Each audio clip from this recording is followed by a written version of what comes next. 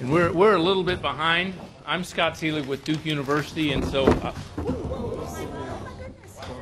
Excuse me, that was on camera. Ta-da!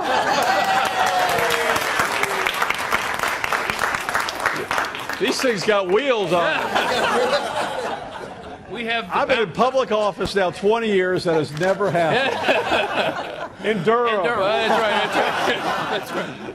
That, well, yeah, you know, governors Boy, these things are uh, slick here.